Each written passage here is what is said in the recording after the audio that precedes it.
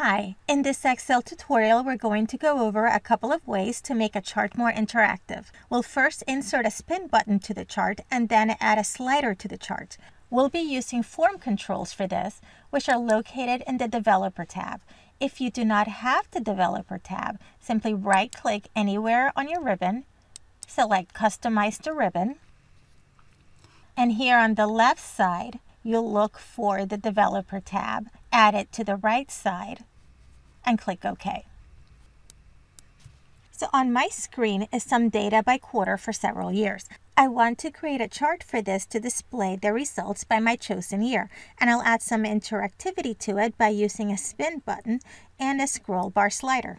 So one thing to keep in mind is that both the spin button and the scroll bar need to be linked to one cell. So to make it easier, right above our data, and I'm actually going to move this down a little bit, I'm going to add a row summarizing the data for one year at a time.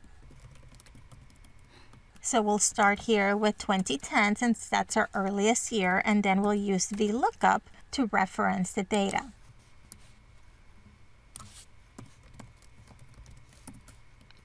I will do this for each one.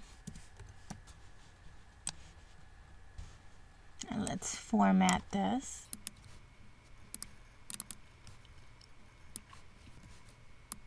Next, we insert the chart. So highlighting the row of data we just added, go to Insert, and we'll insert just a column chart.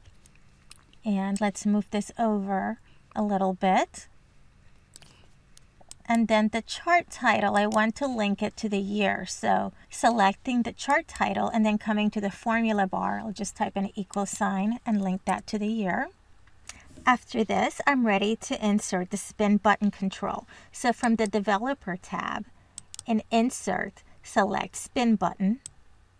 And I'm holding down the alt key as I place it so that it snaps right into the cell but you can always just place it where you want. Form controls behave like shapes as far as moving them about goes. And by the way, if you find this tutorial helpful, don't forget to like the video and subscribe to the channel for even more tips. So next, we'll right click on the spin button and select Format Control. And let's fill in the fields. So the current value we'll say is 2010. The minimum value is also going to be 2010 because that's our earliest year. The maximum value will say 2018 since that's our latest year. And the incremental change, which will be how many numbers or value will change when we click up or down on the arrow. And we'll leave that as 1 because we don't really have that many years. And last, we'll link this to where we typed 2010 here and click OK. And actually, I'm going to move this down so it's in the cell right next to the year.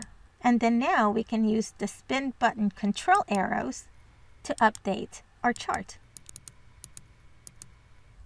An alternative to this is to add a scroll bar slider to the chart. So back in the Developer tab in Insert, this time we'll select the scroll bar and we'll place this below the chart. We'll size it a little more so it's about the same size as the chart. And then right click on it and select Format Control again. And to fill in the fields, we'll set the current value at 2010, which is our earliest year. The minimum value is also 2010. Maximum value is our latest year, 2018. Incremental change will leave at 1, and that'll refer to how many units up or down the value will change when we click on one of the arrows at either end of the slider. And then pace change, I'm going to change this to 1 also because we don't have that many years to choose from. And this refers to how many units the value will change when we click on the slider in the middle. And we'll link this cell to the year as well and click OK. And now we can see as we move our slider, our chart changes. Now with the slider, because I want it attached to the chart, one other thing I want to do is right click on the slider, right click on the chart and because remember that the form controls behave like shapes, we can right click and we'll group these together. And now as we change the chart size or move it around, the slider will remain proportional to the chart and attached to it. I hope you enjoyed this tutorial on how to add a slider and a spin button to a chart in Microsoft Excel. If you did, please make sure to like the video and don't forget to subscribe to this channel. Thanks.